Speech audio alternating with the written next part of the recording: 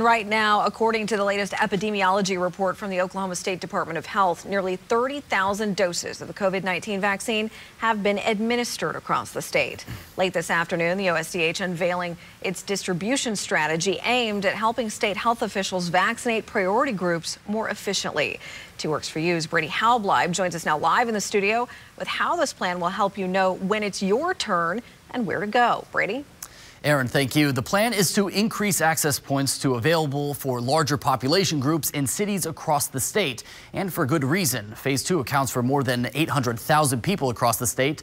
Now the State Department of Health is initiating vaccination pods or point of dispensing sites. The initial group is in phase two includes first responders and healthcare workers outside of hospital settings. Anyone 65 and older will also be able to receive the vaccine in the coming weeks, but we're expected to hear more more information about vaccine availability to 65 and older groups when the state gets more information regarding the state's vaccine supply. For Tulsa business owner Marcy Sider and her husband Michael, both who fall under phase two, the news of the vaccine couldn't come soon enough. We want to know when it's coming and where we're supposed to go to get it. It's scary. Everybody's scared. And we want to get through this as healthy and as quickly as possible.